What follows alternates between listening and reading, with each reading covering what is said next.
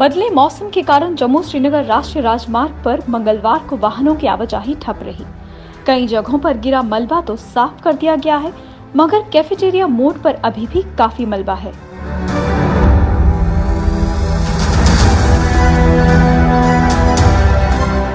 मौसम विभाग ने आज बुधवार को भारी बारिश की संभावना जताई है। इसीलिए ट्रैफ़िक पुलिस ने लोगों से घाटी और रामबन की तरफ़ यात्रा न करने की सलाह दे रखी है।